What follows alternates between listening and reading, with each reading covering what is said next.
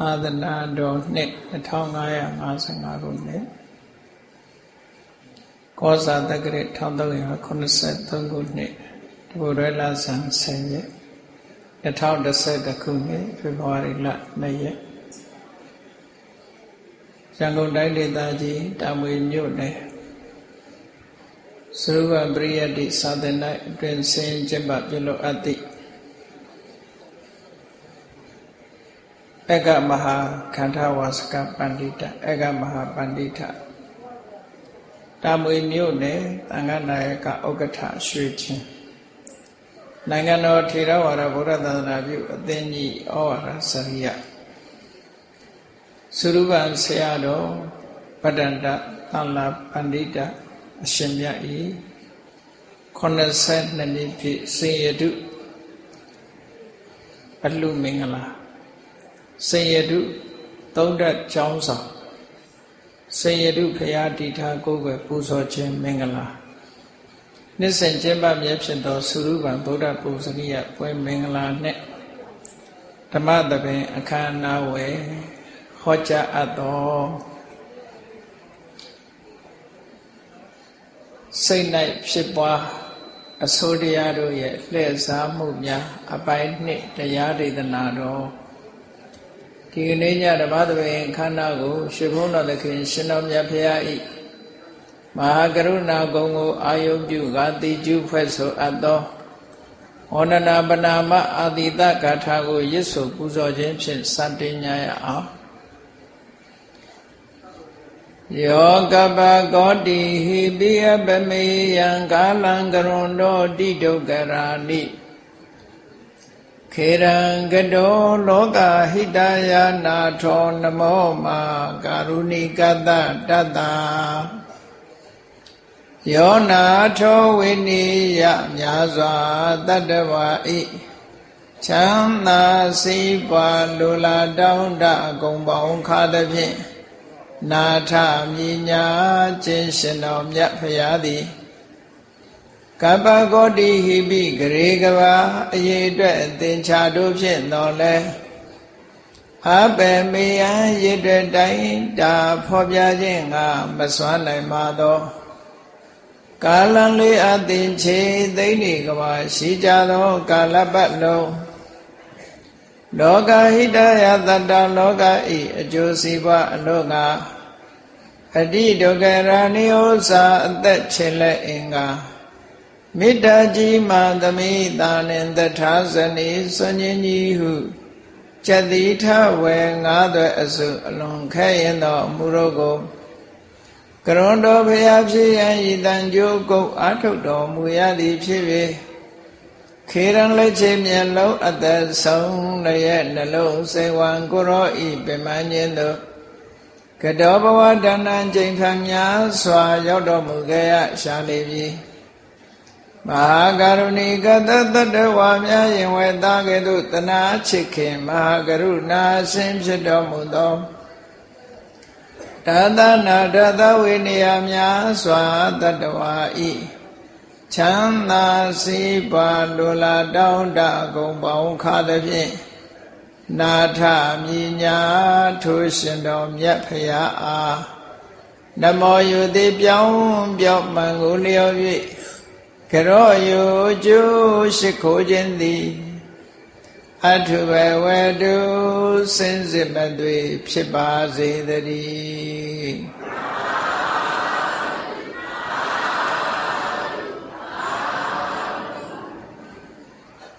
စိတ်၌ဖြစ်ပွားအဆိုးတရားတို့ရဲ့လှည့်စားမှုများအကောင်းနဲ့အဆိုး ယမယခာအကောင်းလို့လို့နဲ့အဆိုးဖြစ်သွားအဆိုးတရားတွေကအကောင်းရောင်ဆောင်ပြီးတော့လှည့်စားသွားရတဲ့သဘောတွေကိုနိတိအထက်ကရာကျမ်းမှာ38မျိုးရှင်းပြထားတာရှိအင်မတန်မှတတိထားစရာကောင်းတယ်ပေါ့ဆိုလိုတာက ကုသိုလ်လုံရင်ကနေပြီးတော့အကုသိုလ်ဖြစ်သွားအမြည်တက်လိုက်တာကတော့ကုသိုလ်ပဲဖြစ်သွားတာကအကုသိုလ်အင်တန်မှတတိထားရမယ့်အချက်ပေါ့ပစ္စည်းတစ်ခုကိုဝယ်တဲ့အခါမှာလည်းပဲဆိုပါတော့ကိုကရွှေအစ်စ်ကိုဝယ်တယ်သို့တော့ရွှေအစ်စ်နဲ့တူတဲ့ရွှေဓုကို ရွှေအစ်စ်လို့ထင်ရလောက်အောင်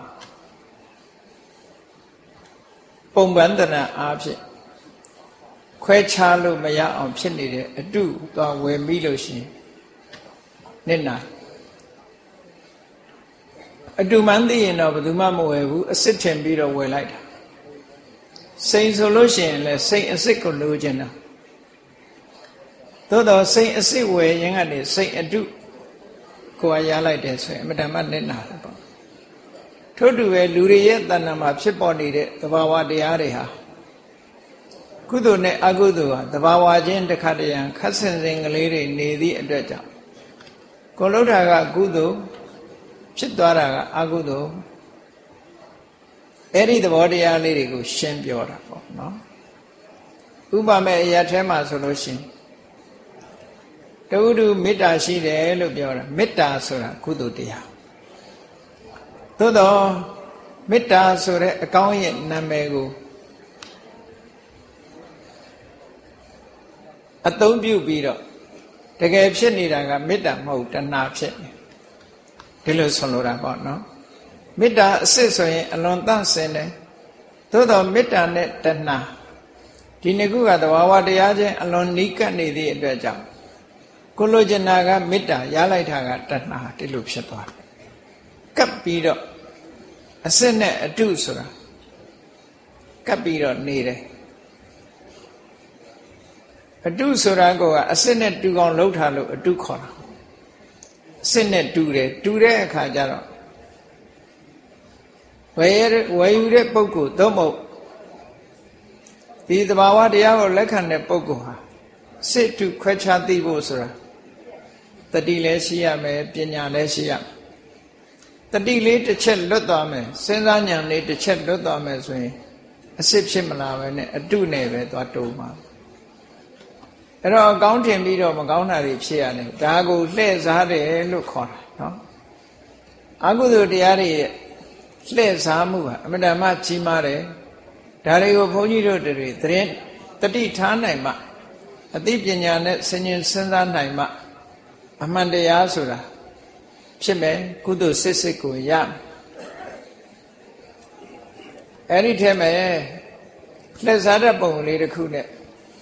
ပတ်သက်ပြီးတော့တမျိုးစီတမျိုးစီရှင်းပြီးတော့ပြောကြရအောင်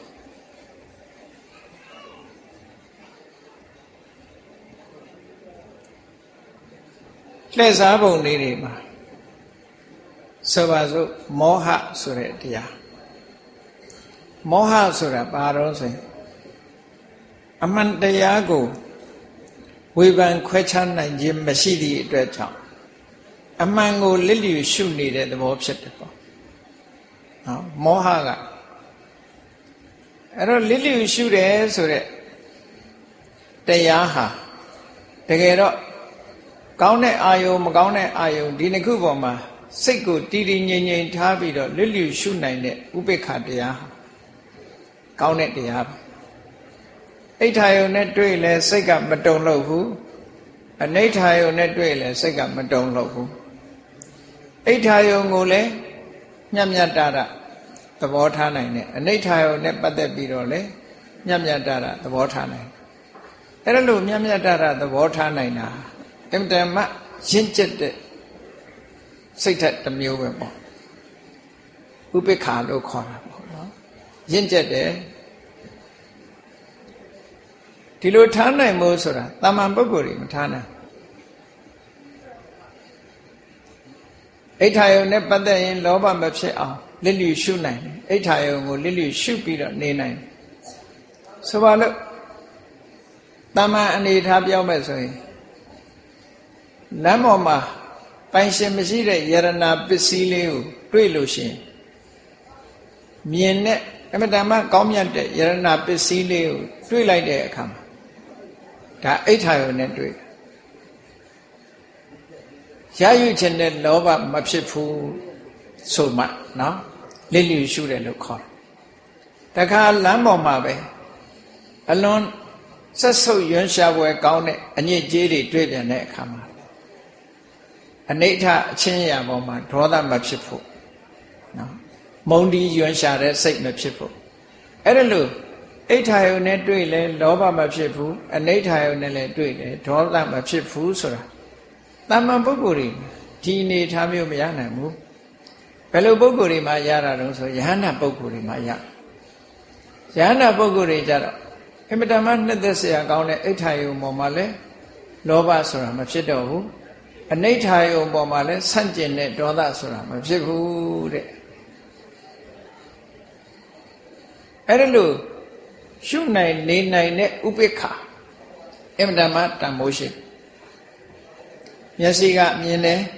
ကောင်းတာမြင်တယ်လောဘမဖြစ်ဘူးမကောင်းတာမြင်လဲဒေါသမဖြစ်နားကအတန်ကြားတယ်ကောင်းတာကြားရင်လဲလောဘမဖြစ်ဘူးမကောင်းတာကြားရင်လဲ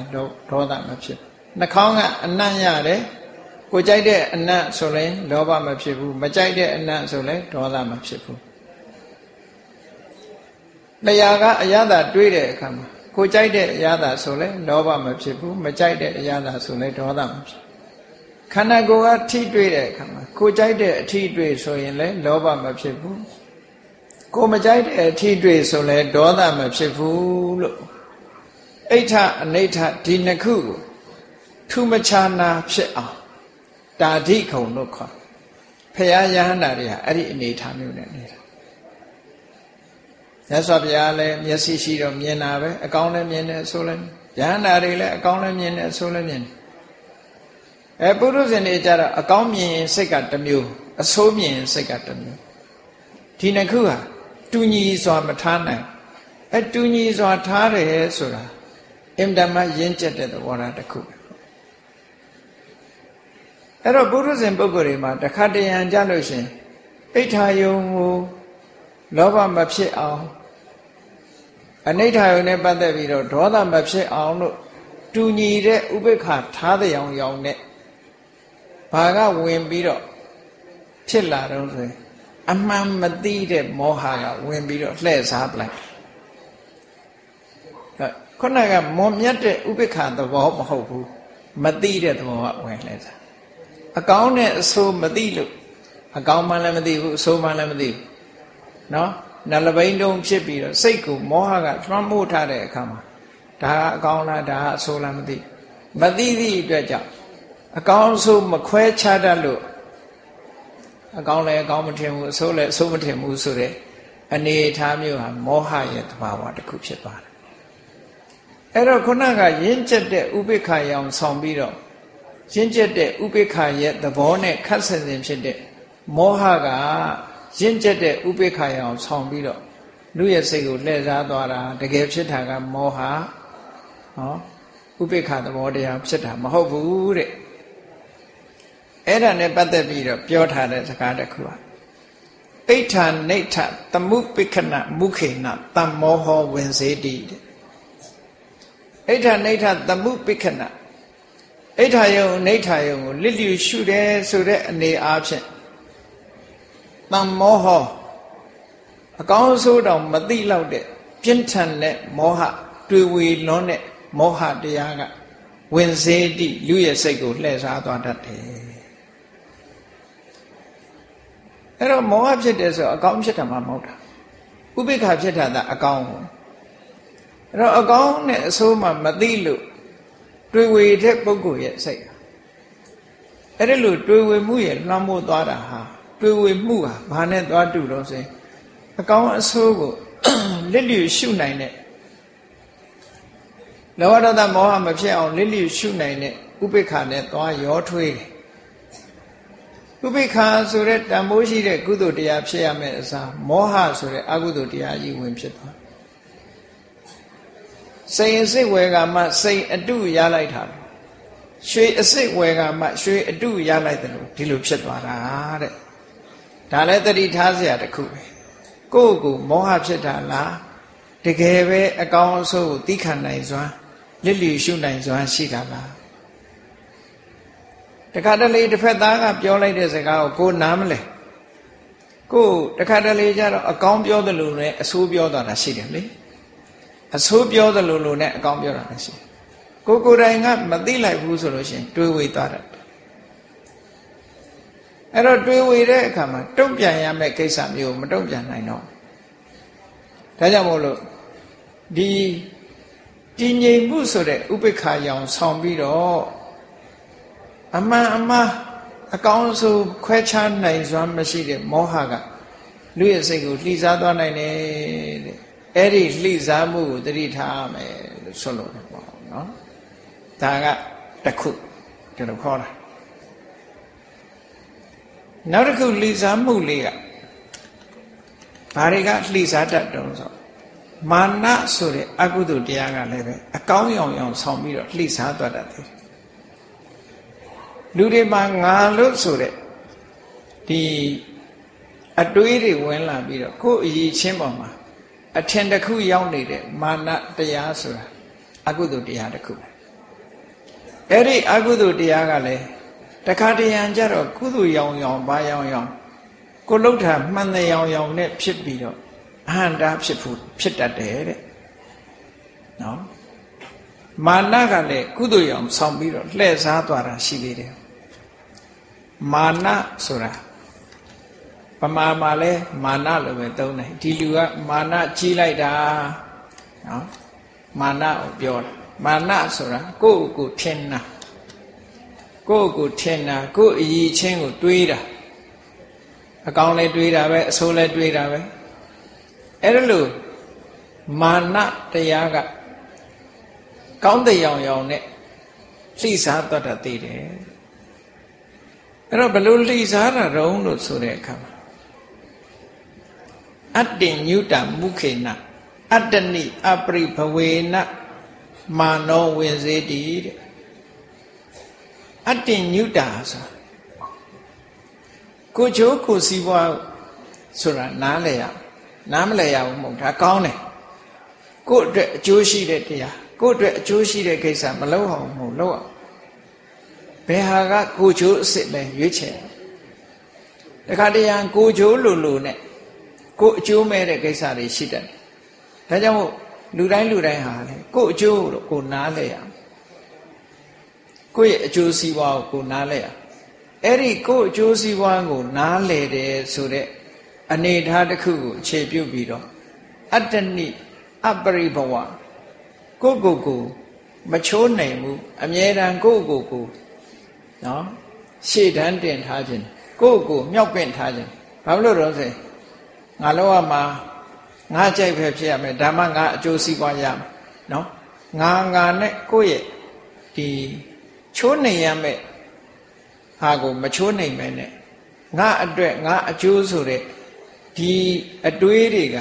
လွှမ်းမိုးပြီးတော့နှိမ်ချပြီးတော့ဆက်ဆံတဲ့ပုံကိုယ်တွေကိုနှိမ်ချဆက်ဆံမှုမပြုဘဲနဲ့ကိုကြိုးကိုစည်းပွားကိုရှေ့တန်းတင်တယ်လို့ဆိုတဲ့အနေထားဖြင့်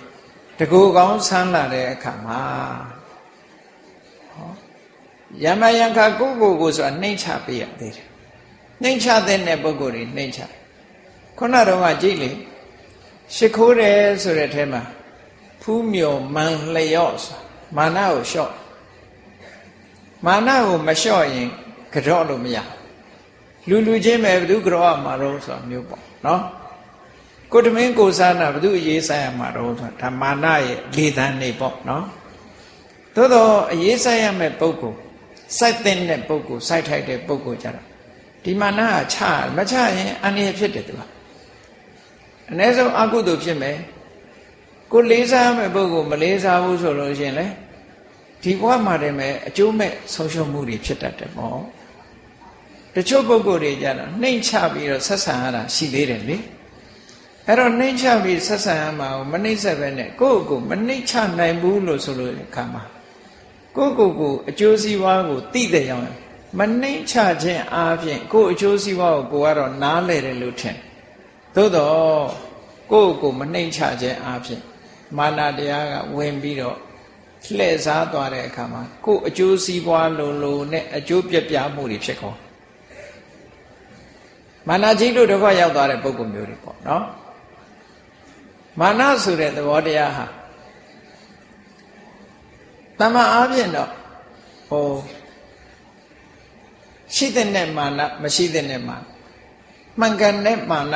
မှားယွင်းတဲ့မာနလို့ဒီလိုခွဲခြားတာတော့ရှိယာထာဝမာနအာယထာဝအရှိအတိုင်းထင်တာဥပမာကိုစာတတ်လို့စာတတ်တယ်ကိုချမ်းသာလို့ချမ်းသာတယ်ကိုတတ္တိရှိလို့ရှိတယ်လို့ထင်တဲ့ဟာကဒါယာထာဝမာအမှန်တိုင်းထင်တတ္တိမရှိဘဲနဲ့တတ္တိရှိတယ်ပစ္စည်းဥစ္စာမရှိဘဲနဲ့ရှိတယ် သာမတဘဲနဲ့တတ်တယ်အရေးချင်းမရှိဘဲနဲ့ရှိတယ်လို့ထင်တာကြတော့အာယထာဝမာနလို့ခေါ်တယ်ကိုယ်အရေးချင်းကို ရှိတာကို ရှိတယ်လို့ထင်ပြီးတော့မာနတက်တာတောင်မှတရားဓမ္မနဲ့ပတ်သက်လာတဲ့အခါကျတော့အကျိုးမဲ့ဖြစ်တတ်တယ်တဲ့ရှင်သာတဲ့ရှင်အနုရုဒ္ဓရဲ့မာနပဲကြည့်ရှင်အနုရုဒ္ဓဟာတာဂဝိမင်းသားတူဘဝကနေပြီးတော့ သာသနာပေါင်းဝင်လာလူဘဝတုန်းကဘလောက်ချမ်းသာတုန်းဆိုတာထမင်းဘယ်ကရမှန်းတော့မသိတဲ့ပုဂ္ဂိုလ်မျိုးချမ်းသာတယ်ဆိုတာဘယ်သူမှသူ့ကိုအသိမခံဘူးနော်သူထမင်းဘယ်ကရတော့ဆိုသူစားခြင်းရွှေကွက်ထဲပဲထမင်းရရွှေပကံနဲ့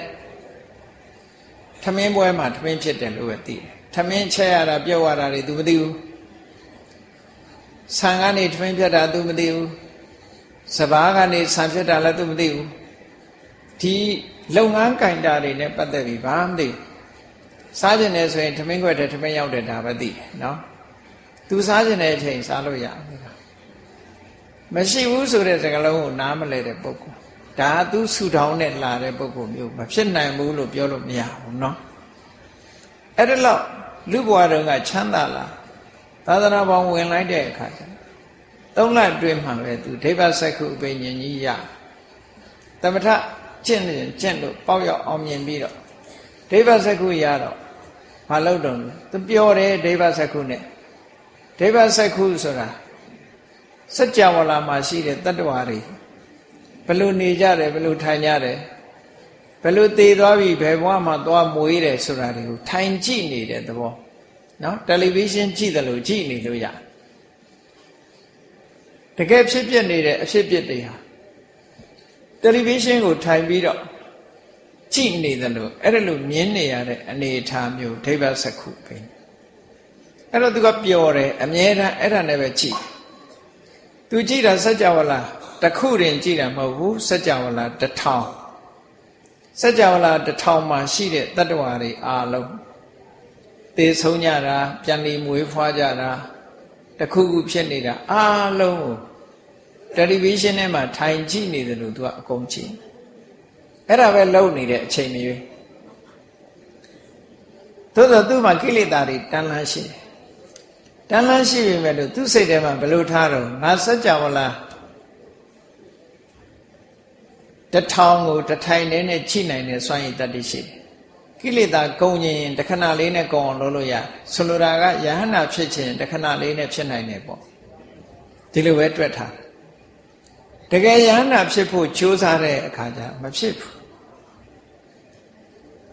မဖြစ်ဘူးအဲ့ဒီမဖြစ်တဲ့အခါမှာလမ်းစာလည်းပိတ်နေဘာလို့မဖြစ်မှမသိငါစัจ java လာတထောင်လဲကြည့်နိုင်တယ်ဒိဗ္ဗစကုနဲ့စัจ java လာတထောင်လဲကြည့်နိုင်တယ်ကျိုးလဲကျိုးစားတယ်တမာရီတွေလည်းကောင်းတယ်တတိတွေလည်းကောင်းဝိရိယလည်းလုံလောက်တယ်ဒါပေမဲ့လို့ဘာဖြစ်လို့ ငါတဏ္ဍမှာရှိတဲ့ကိလေသာအာသဝါတွေကောင်းအောင်မလုပ်နိုင်တာလေလို့ဒီအတွေးဝင်လာတဲ့အခါမှာသူ့ဘာသူမဆုံးဖြတ်နိုင်မဆုံးဖြတ်နိုင်တော့ရှင်သာရိပုတ္တရာစိတ်သွားတဲ့အခါရှင်သာရိပုတ္တရာဘာထောက်ပြတော့50အနုရုဒ္ဓတဲ့စัจ java လာတထောင်ကိုငါချိနိုင်တယ်လို့တွေးနေတာမာနပါတဲ့အဲ့ဒီမာနမထားပါနဲ့လို့ဆိုဒီမာနလေးခံနေလို့ရှေ့တက်လို့မရဘူးလို့ဆိုလို့ မဟုတ်ဘူးလားဆိုဟုတ်တယ်သူကိုယ်တိုင်ကြည့်တယ်အဲ့ဒါကြောင့်မာနဆိုတာအကုသိုလ်ပဲဘာထင်ထင်မာနဆိုတာအကုသိုလ်အကုသိုလ်စိတ်နဲ့ရှင်တွဲပြီးတော့လာတဲ့ဟာအဲ့တော့သူ့ရဲ့နှောက်ယှက်မှုကြောင့်တရားဓုတရားမြတ်ကိုရှေ့မတိုးနိုင်အဲ့ဒါကိုဖယ်လိုက်ပါဒါတွေမစင်စားပါနဲ့ကိုယ်အည်ချင်းတွေပေါ်မှာမာမနာမထားပါနဲ့လို့ဟောဒီလိုလမ်းဖြောင်းပေးလိုက်တဲ့အခါမှာ မာနကိုဖယ်လိုက်တော့မှကိလေသာအာသဝတွေကင်းတဲ့ယဟနာဖြစ်သွားတာအဲ့ဒါကြောင့်မို့လို့ကိုကျိုးကိုစီးပွားကို့အတွက်ကိုလုံးဝမှာပဲလို့ဆိုတယ်ကို့အကျိုးစီးပွားကိုကိုထားပြီးတော့နှိမ့်ချဆက်ဆံရမယ့်နေရာမျိုးမှာကို့မာနာကိုမနှိမ့်ချဘူးဆိုလို့ရှိရင်အဲ့ဒီမနှိမ့်ချခြင်းနာဟာဘာလို့ဆိုမာနပဲနော်ကိုကျိုးကိုစီးပွားသိတာကောင်းတယ် မနှိမ့်ချခြင်းနာဘာလို့ဆိုမာနကိုကျိုးကိုစီးပွားကိုသိတယ်ဆိုရက်ကောင်းမြတ်တဲ့တရားရောင်ဆောင်ပြီးတော့ကိုကိုကိုမနှိမ့်ချပဲနဲ့နေတော့ဘာဖြစ်လာတော့ဆိုမာနဖြစ်လာတယ်တဲ့အဲ့ဒီမာနကကိုကျိုးစီးပွားကိုသိတယ်ဆိုတဲ့ကောင်းမြတ်တဲ့တဘာဝတရားကိုဝင်ရောက်ပြီးတော့လှည့်စားပလိုက်တာဒီလိုဆိုလို့တာနော်သူကတော့သူ့ကိုယ်သူအကောင်းလို့ပဲထင်တယ်သို့တော့သူ့ မာနတရားရဲ့လှည့်စားမှုဖြစ်သွားတယ်အဲ့ဒါလို့ခံရတတ်တယ်လို့ဆိုဒါလည်းအကျိုးမဲ့ဖြစ်တဲ့သဘောတစ်ခုကိုပြောပြနော်ဒါကမာနတရားရဲ့ဝင်ရောက်လှည့်စားမှုတစ်ခုနောက်တစ်ခုမိစ္ဆာဒိဋ္ဌိဆိုတဲ့အကုသိုလ်တရားအဆိုးတရားကလည်းလှည့်စားတတ်တယ်မိစ္ဆာဒိဋ္ဌိဆိုတာဘာလို့ဆိုမိစ္ဆာဆိုတာ အမှန်မဟုတ်ဘဲနဲ့ဒိဋ္ဌိမြင်တာမှားမှားယွင်းယွင်းမြင်တာရှုမြင်တာကအမှားမြင်ရှိတဲ့အတိုင်းမမြင်တာနော်မမတ်မကန်မြင်တာမိစ္ဆာဒိဋ္ဌိလို့ခေါ်တယ်အဲ့ဒီမိစ္ဆာဒိဋ္ဌိကလည်းပဲတခါတရံကြတော့ဝင်ရောက်ပြီးတော့လှည့်စားသွားတတ်တယ်တဲ့ဘယ်လိုနေရာမှာလှည့်စားသွားတတ်တုံးလို့ဆိုလို့ရှိရင် तू က မိစ္ဆာဒိဋ္ဌိဖြစ်တယ်ဆိုတဲ့ပုဂ္ဂိုလ်က तू ကအတွေးသမားတွေညာတော်အဖြစ်တွေးတယ်အာယောနိသောမနတိကတော့မမှတ်မကန်စဉ်းစားမှုတွေနှလုံးသွင်းမှုတွေနဲ့လားသူကတွေးတော့ဆင်ញင်တယ်လို့ဆိုတဲ့တွေးတာဟာဆင်ញင်တယ်သုံးတတ်တယ်ဆိုတာဝိမာန်တာလို့ခေါ်တယ်ကိစ္စတခုဆင်ញင်တယ်သုံးတတ်တယ်အဲ့ဒါလို့ဆင်ញင်သုံးတတ်မှုလေးอ่ะအဲ့ဓမ္မကောင်းတယ် အိဋ္ဌိပတ်၄ပါးထဲမှာသန္တာအိဋ္ဌိပတ်ဝီရိယအိဋ္ဌိပတ်စိတ်တအိဋ္ဌိပတ်ဝိမာန်တအိဋ္ဌိပတ်ဝိမာန်တဆိုတာစူးစမ်းဆင်ញင်ဘယ်ရာမှအယံလက္ခဏာမဟုတ်ဘူးစူးစူးဆန်းဆန်းလောက်တတ်တယ်စူးစမ်းတာစူးစမ်းတာမကောင်းဘူးလားဆိုကောင်းတယ်အဲ့ဒီစူးစမ်းတဲ့ဟာကဘာဖြစ်သွားတတ်တုံးလို့ဆိုစူးစမ်းရင်စူးစမ်းရင်နော်စူးစမ်းမှုဆိုတဲ့အကောင်းတရားဟာ အကြောင်းဓုတွေအစစ်အမှန်ကိုရှာမတွေ့ပဲနဲ့အကြောင်းဓုတွေကိုတွေ့သွားတဲ့အခါကျတော့မိစ္ဆာဒိဋ္ဌိကနေဝင်ရောက်လှည့်စားသွားတတ်တယ်အသိဉာဏ်ရောင်ဆောင်ပြီးတော့လှည့်စားသွားတတ်သေးတယ်အဲ့ဒါကိုဒီဝိဇနာတွေအနေမှာဘယ်လိုပြောတော့ဆိုဝိမန္တာမုခေနဟေတုပတိရူပကပရိခဟေနမိစ္ဆာဒိဋ္ဌိ ဝိဇေတိဝိမန္တာမုခေနစူးစမ်းဆင်ခြင်သုံးသပ်မှုကိုခြေခံထားပြီးဟေတုပတိရူပကပရိခဟေနအကြောင်းအတုအယောင်ကိုလက်ခံထားခြင်းဖြင့်မိစ္ဆာဒိဋ္ဌိမှားယွင်းတဲ့အမြင်ဟာဝင်စေတိလှည့်စားသွားရပါတယ်အဲ့တော့မိစ္ဆာဒိဋ္ဌိဖြစ်တယ်ဆိုတာ မစင်စားတဲ့ပုံကိုယ်တွေဖြစ်တာမဟုတ်ဘူးစဉ်းစားတဲ့ပုံကိုယ်တွေဖြစ်တာစဉ်းစားလာသိဉာဏ်မမိတဲ့အခါကျတော့အကြောင်းအတုအယောင်တွေကိုအစစ်အမှန်အယောင်ထင်ပြီးတော့ဆင်ញင်တဲ့အခါနော်စဉ်းစားမှုဆိုတဲ့အသိဉာဏ်ရောင်နဲ့သူကမှားရတဲ့အမြင်တစ်ခုကကိုယ့်ကိုလှည့်စားသွားတယ်ဆိုပါစို့ တတိယဟန်ရဲ့အတွေးလို့ပေါ့တတိယဟန်ကစဉ်းစားတာ950ဇတ်တွေကိုဖတ်လိုက်ရင်ဘာတွေတွေးလို့950ဇတ်တို့ဘုရားဝင်တို့ဖတ်တဲ့အခါမှာကြည့်ဘုရားလောင်းသူမိတာဒီပင်္ဂရာမြတ်စွာဘုရားနဲ့တွေ့ပြီးတော့ဗျာဒိတ်ခံတယ်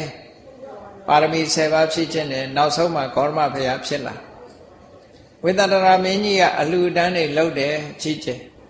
တည်တဲ့ခါကျတော့တေတဂေတုနတ်သားတေတဂေတုနတ်သားဘဝကနေပြီးတိဋ္ဌထမင်းသားပြီးတော့ဘုရားဖြစ်လာတယ်950ဖတ်လိုက်မယ်ဆိုလို့ရှိရင်ဘုရားအလောင်းကဘဝတစ်ခုမှာတည်ဆုံးသွားတဲ့အခါဘပါရမီတွေဖြည့်ရင်ဖြည့်ရင်နဲ့နောက်ဆုံးဂေါရမတရားဖြစ်လာတယ်ဆိုတဲ့ဇတ်တွေကိုဖတ်လိုက်အဲ့ဒါလို့ဇတ်တွေဖတ်ရင်ဖတ်ရင်နဲ့ ဘာတွေစဉ်းစားလာတော့ဆိုဩသူမေတာယသိကဂေါရမဖရာဖြစ်လာတယ်ဆိုလို့ရှိရင်ဒါသူမေတာယသိမှရှိတဲ့ဝိညာဉ်လေးကနေပြီးတော့ဘဝပြီးတဘဝပြီးတဘဝပြီးတဘဝပြီးပြောင်းလာလိုက်တာနောက်ဆုံးဂေါရမဖရာဖြစ်ဂေါရမဖရာခန္ဓာကိုယ်ထဲရောက်လာတဲ့ဝိညာဉ်ဖြစ်လာတယ်လို့မြဲတယ်ဆိုတဲ့အမြင်ကြီးတစ်ခုပေါ်လာတယ် သူမိတာယသိကဂေါရမဖရာဖြစ်တယ်ဆိုတော့သူမိတာယသိနဲ့ဂေါရမဖရာကတကယ်ကြည့်မယ်ဆိုလို့ရှိရင်ကဘာပေါင်းဟာနော်လေးသိင်ချေနဲ့တသိန်းกว่าဝေးတယ်သို့တော့အဲ့ဒီခရီးကြီးကိုဖြတ်တန်းလာပြီးတော့ဘောရမဘုရားဘုရားရောက်လာတယ်လို့ဆိုမြဲတယ်လို့သူစိတ်ထဲမှာတွေးလာစဉ်းစားတာလို့ဒါဒီဝိညာဉ်လေးဟာတစ်ခုနဲ့တစ်ခုကူးပြောင်းပြီးတော့လာတာ ကူးပြောင်းလာလို့ဒီဘဝလူဝင်စားတယ်ဆိုလဲတူတူပဲပေါ့စိတ်ထဲမှာအဲ့လိုအဲ့ဒါလို့ဆင်ញင်စဉ်းစားခြင်းကနေပြီးတော့ဘာဖြစ်လာတော့ဆိုဟေတုပတိတွေဘကအကြောင်းအစစ်အမှန်တွေကိုမသိဘူးတဘာဝတရားရဲ့ပြောင်းလဲနေတဲ့အနေအထားတွေကိုမရှုမြင်နိုင်ဘူးသူမိတာယသိတိပင်လင်ဂေါရမဖရာလာဖြစ်တယ်လို့ဆိုတဲ့ဒီအချက်တစ်ခုကိုပဲဆွဲမြဲပြီးတော့ သူမိတာယသိရဲ့ယုတ်တိနန္ဒီယဂေါရမဖရာလာဖြစ်တယ်လို့ဒီလိုနှလုံးသွင်းမိတဲ့အခါကျတော့ဘာဖြစ်လာတော့ဆိုမိစ္ဆာဒိဋ္ဌိဖြစ်လာတယ်တတ္တဒဒိဋ္ဌိလို့ခေါ်တယ်မြဲတယ်ဆိုတဲ့အယူဆတစ်ခု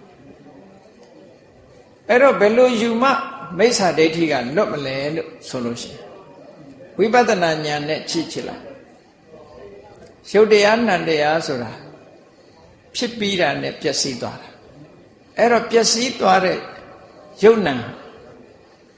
ဒီအဲ့ဒီယုံနံကပြန်ဖြစ်လာတာမဟုတ်ဘူးပျက်စီးသွားတာတခါတည်းပျက်စီးသွားအကြောင်းမကုန်သေးသည့်အတွက်ကြောင့်ဖြစ်လာပြီးရင်ပြတ်သွားတယ်ပြတ်လာပြီးရင်နောက်အကြောင်းမကုန်လို့တစ်ခုဖြစ်တယ်ဖြစ်တာဖြစ်ပြက်အစဉ်မြတာရှိတယ်ဆိုတော့ကဲဘုန်းကြီးတို့တွေစဉ်းစားကြည့်ပေါ့ခြေလန်းတလန်းပြီးလှမ်းတဲ့အခါမှာ ပထမခြေလန်းကဒုတိယခြေလန်းဖြစ်လာတာလားလို့စဉ်းစားကြည့်ပထမခြေလန်းပထမခြေလန်းပဲပြီးသွားတယ်ဒုတိယခြေလန်းကပထမခြေလန်းမဟုတ်ဘူးသို့တော့ဒုတိယခြေလန်းမရှိဘဲနဲ့လေပထမခြေလန်းဆိုတာပထမခြေလန်းမရှိဘဲနဲ့လေဒုတိယခြေလန်းဆိုတာမဖြစ်နိုင်ဘယ်ရာပဲဖြစ်ဖြစ်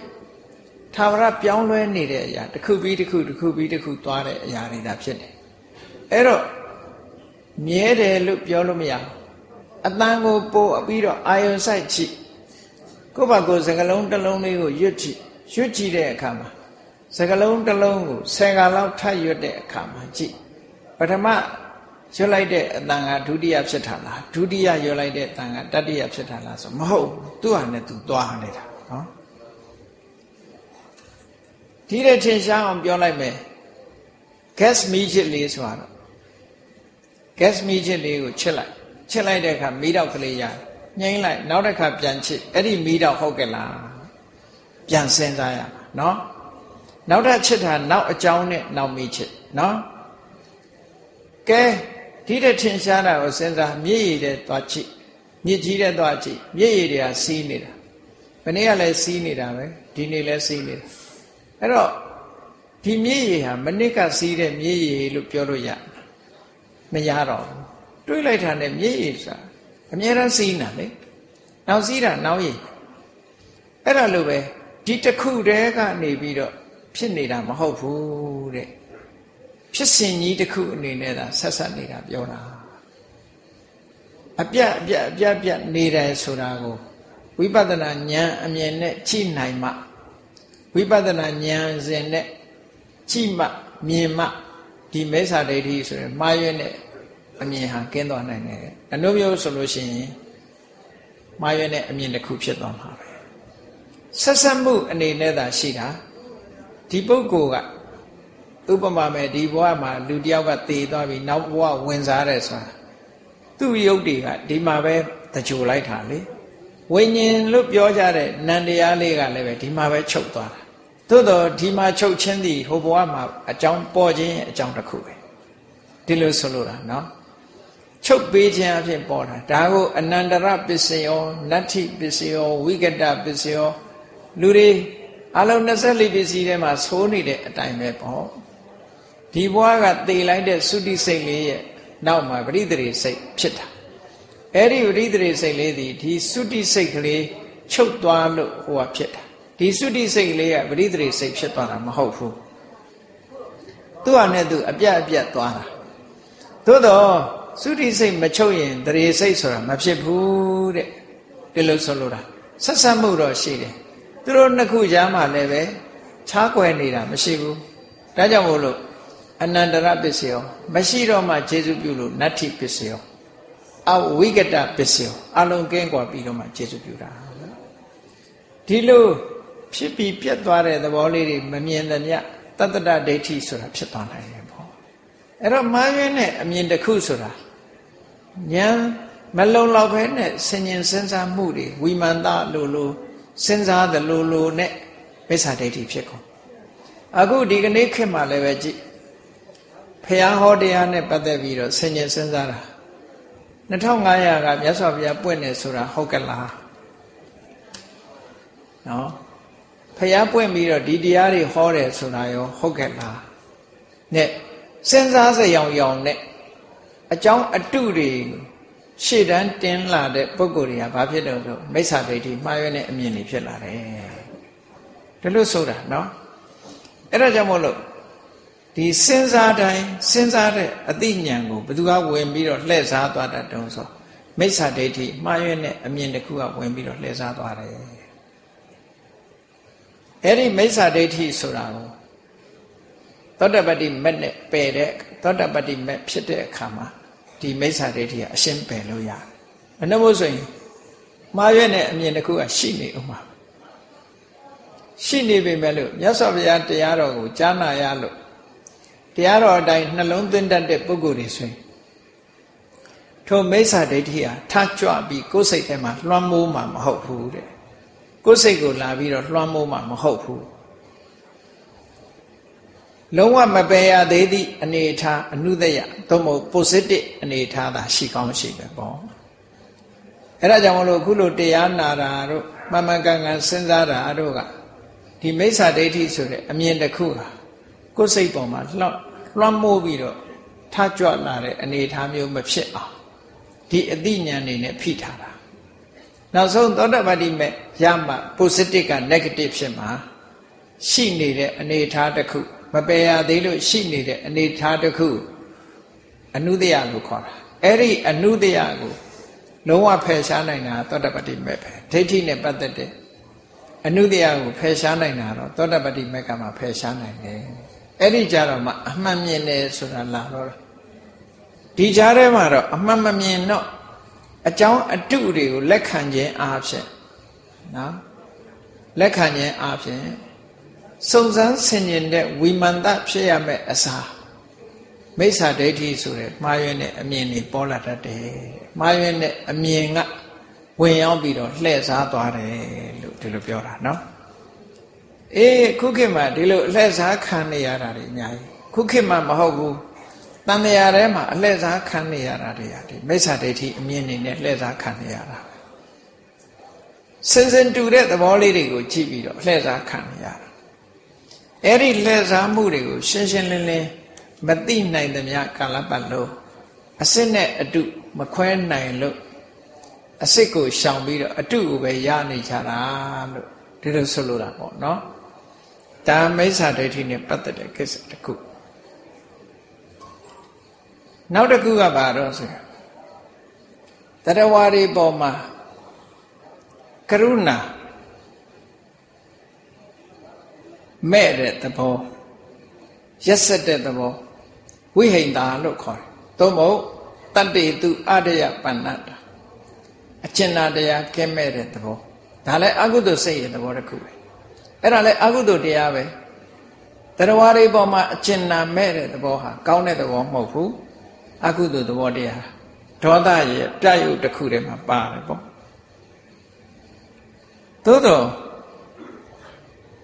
အကျဉ်းနာမဲ့ဆိုတဲ့နေရာမှာဖြစ်တဲ့ဖြစ်ထိုက်တဲ့ဟာမျိုးကဘာတော့ဆိုလို့ရှိရင် ဝိရတတာတတ္တဝါတွေပေါ်မှာတွေ့တာမှုဆိုတာ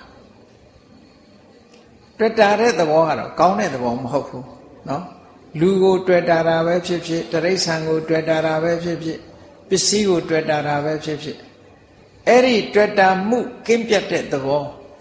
ဟာကောင်းတဲ့သဘောတွေ့တာတာကမကောင်းဘူးတွေ့တာမှုကင်းအောင်လုပ်ရ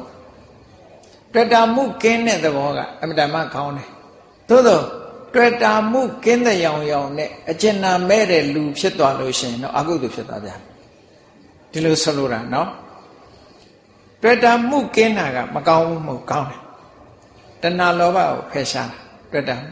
အဲ့ဒီတွေ့တာမှုကင်းအောင်ကြိုးစားတဲ့ရောင်ရောင်နဲ့တွေ့တာမှုကင်းတယ်ဆိုတဲ့ကုသိုလ်တရားရောင်ရောင်နဲ့ဘာကလာတော့ဆိုအကျဉ်းနာကင်းမဲ့တဲ့ပုဂ္ဂိုလ်တယောက်ဖြစ်ကျဉ်နာကင်းမဲ့တဲ့စိတ်ဓာတ်ကလှည့်စားသွားတတ်တယ်။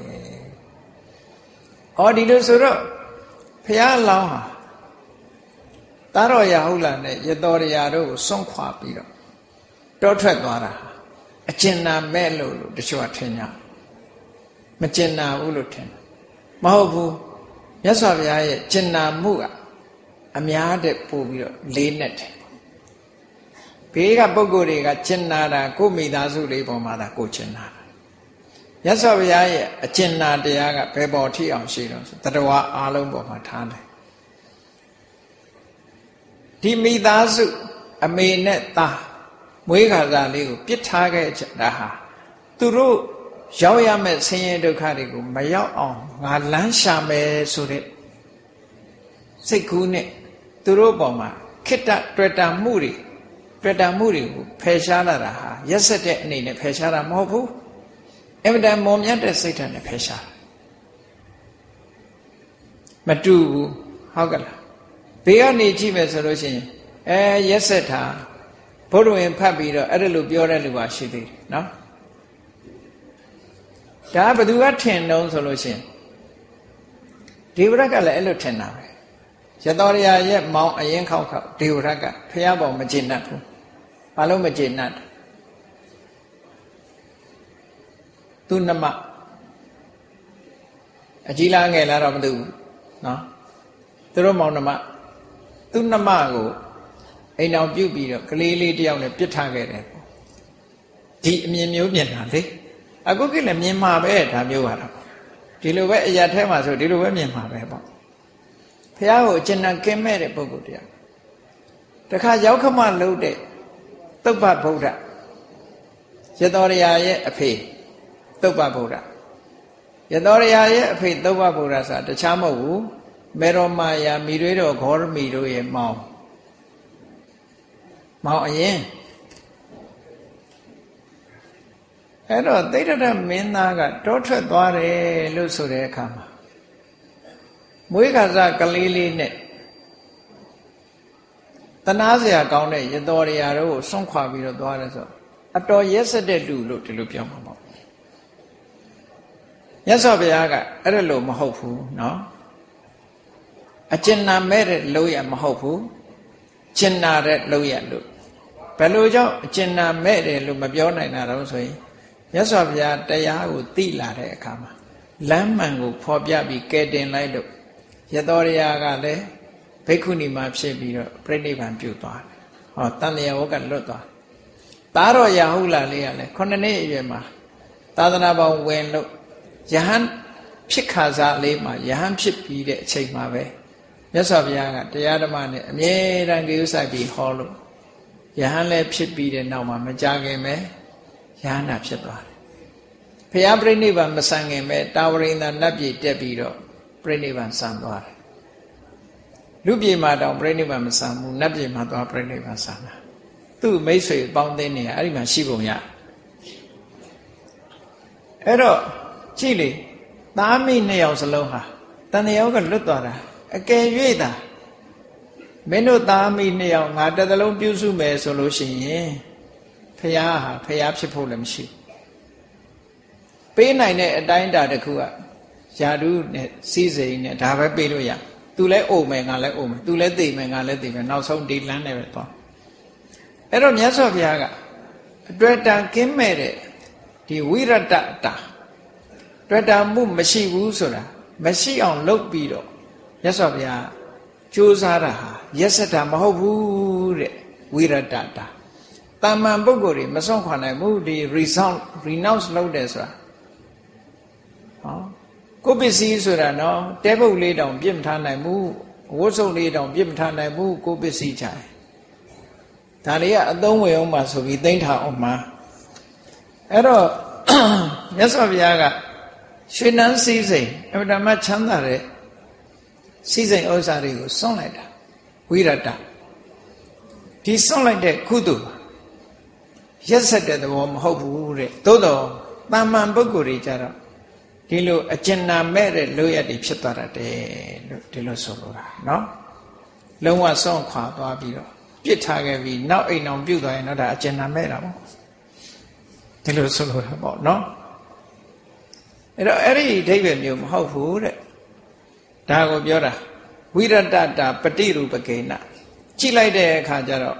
နော်အတွေ့အတာကင်းတဲ့ရောင်ရောင်နဲ့အေးသူတို့ပါလေသူတို့ငါသူတို့တန်ရုံးစင်မရှိဘူးဆိုရင်နော်တွေ့တောင်ကင်းတဲ့ရောင်ရောင်နဲ့တတ္တိသူအတေယပဏ္ဏတာတရားဝါတွေအပေါ်မှာကိုယ်နဲ့ပတ်သက်တဲ့ပုဂ္ဂိုလ်တွေအပေါ်မှာအကျဉ်းနာကင်းမဲ့တာဆိုတာမျိုးကဝင်ပြီးတော့ဝင်စေတိလှည့်စားသွားတတ်တယ်ဒါသတိထားစရာဒီနှစ်ခုအကျဉ်းနာကင်းတာလားသို့မဟုတ်တန်ရောစဉ်ကင်းအောင်ကြိုးစားတာလား တန်ရောစဉ်ဆိုတာဟာလူကိုကူညီစရာမရှိရင်အခုကတန်ရောစဉ်လည်းပြောင်းတိပြောင်းပြန်နေတွေးကြတယ်ဥပိ္ပခာတို့တန်ရောစဉ်တို့တန်ရောစဉ်မရှိဘူးတန်ရောစဉ်မရှိဘူးနဲ့သူကပြောတာဒီပုဂ္ဂိုလ်တယောက်ကိုတန်ရောစဉ်မရှိဘူးနောက်တစ်ယောက်သွားတန်ရောစဉ်ရှိ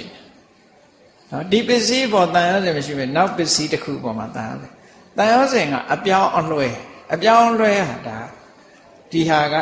ဟိုတန်ရောစဉ်ကင်းတာလို့ပြောလို့မရဘူး တန်ရောစဉ်ပြောင်းတာလို့သာပြောလို့ရတယ်အခုခေတ်ကတန်ရောစဉ်ကင်းတယ်မဟုတ်တန်ရောစဉ်ပြောင်းတာတတန်ရောစဉ်ကနေနောက်တတန်ရောစဉ်ပြောင်းလိုက်တာပဲရှိအဲ့တော့တန်ရောစဉ်ဆိုတာလူကိုခေါ်တာလည်းမဟုတ်ဘူးပစ္စည်းကိုခေါ်တာလည်းမဟုတ်ဘူးဘာခေါ်တာတော့ဆိုလူနဲ့ဒီစိတ်ချားမှာတွေ့တာမှုလေးကိုခေါ်တာကြိုးလေးကိုခေါ်တာအဲ့ဒါလေးသာဖြတ်ရမှာလူကိုဖြတ်ခိုင်းတာမဟုတ်ဘူးပစ္စည်းဥစ္စာကိုစွန့်ပစ်ခိုင်းတာမဟုတ်ဘူးတန်ရောစဉ်ဆိုတာ နော်ထင်ရှားအောင်ပြောရမယ်ဆိုရင်စက္ကူရွက်ကလေးနှစ်ရွက်ချားမှာနော်စက္ကူလေးနှစ်ခုဟာတူတူထပ်ထားပေမဲ့လို့ကတ်မနေဘာလို့လို့တော့ဆိုရင်အဲ့ဒီနှစ်ခုချားမှာကော်မရှိဘူးဂလူးမရှိဘူးမရှိရင်စက္ကူလေးကတူတူတော့ရှိတယ်ကတ်မနေဘူးအကယ်၍သာကော်ထည့်လိုက်မယ်ဆိုလို့ရှိရင်စက္ကူနှစ်ခုကကတ်သွားကတ်သွားရင်တရွက်ဖယ်ရင်နောက်တရွက်ဆုပ်လိုက်မယ် အဲ့တော့မြတ်စွာဘုရားကဘာကိုလှုပ်ခိုင်းတာတော့ဆိုအဲ့ဒီဂလူးကိုဖယ်ခိုင်းတာစက္ကူကိုဆုပ်ခိုင်းတာမဟုတ်ဘူးနော်စိတ်နဲ့အာယုံကြားမှာတွဲနေတဲ့တန်ရောစင်ချိုးအဲ့ဒါကိုဖြုတ်ခိုင်းတာတဲ့အဲ့ဒါကိုဖြုတ်ခိုင်းတာကိုလက်တွဲဖြုတ်ခိုင်းနေထင်ပြီးတော့ဒီလက်တွဲဖြုတ်ပြီးနောက်သွားလက်တွဲပြန်တယ်ဆိုပဲဟုတ်မလဲနော်နောက်တစ်ခုသွားလက်တွဲပြန်တယ် ဒီပစ္စည်းဆောင်ဟိုပစ္စည်းသွားတွဲပြန်တယ်ဆိုမဟုတ်ဘူးလေကျိုးဖြတ်တာမှမဟုတ်ဘဲနဲ့ချိုးတွေလျှောက်ဖွာတာဒီလိုတွေဖြစ်တာပေါ့တန်ရောစင်တွေလျှောက်လောက်တာပေါ့အဲ့တော့ဆိုလိုတာကတန်ရောစင်ဂျိုးဆိုတာတန်ရောစင်ဂျိုးကိုတဖြတ်ရတာလူကိုဖြတ်ရတာမဟုတ်နော်လူကိုဖြတ်တာမဟုတ်ဘူးအေးဒါကြောင့်မို့